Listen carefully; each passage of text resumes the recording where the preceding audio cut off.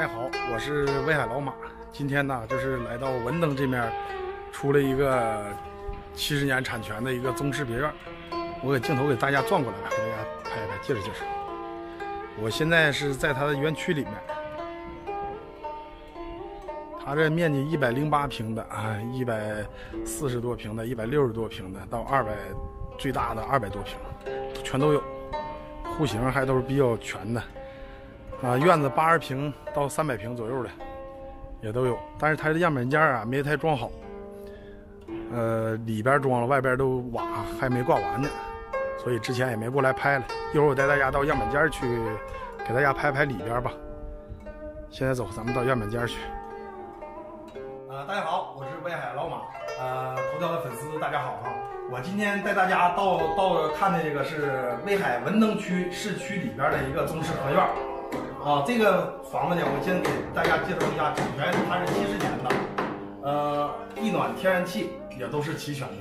最大的优点，它是在市区里边，其他的这些呢都在城市的边上，这个是在市区以内的。我现在在这个就是它的一个客厅里面，啊，就是它的一个面宽八米面宽的一个客厅。因为外边吧，它这个房子吧，外边都是没呃都没做完，来给大家说说这个院子。它这个样板间都没做好，像前面咱们这个院子呢，它这个样板间准备做一个水系，做个凉亭，大约面积是一百二十七平，它有个后院，后院呢是二十平左右。咱们是从这个，呃，这个是从客厅出来的，这面呢，这个这个是真正的它的它的入户门啊，这个真正的入户门，一进门，这是往往这边一走，这边是客厅，这边还带了一个带了一个鞋柜啊啊挂衣服的衣。它这个房子呢，就是跟我之前给大家拍的户型几乎差差不太多，但是这个呢，就是优最大的优点，它是在市区里边的，生活各方面啊，医疗配套都是比较呃齐全啊方便的。这北向的一个厨房，这边呢是一个餐厅，啊这一项呢就是去北向的小院的。其实这个北向小院儿也就是给呃利于大家这个就是利于这个房子通风啊采光和通风。而且它这个一层呢，这个一层，呃，带了一个老人房，家里边有老人呐，呃，就不用爬楼梯去到二楼了，呃，而且去小院更方便，开个门直接就可以进小院了。这个房子呢，呃，是三室两厅三卫的，这边是一楼带的卫生间，也是有窗的。二楼呢是以居住为主啊，二楼是以居住为主。二楼呢，这个是，呃，两个卧室。啊，两个卫生间，哎，带大家到主到上面来看一看。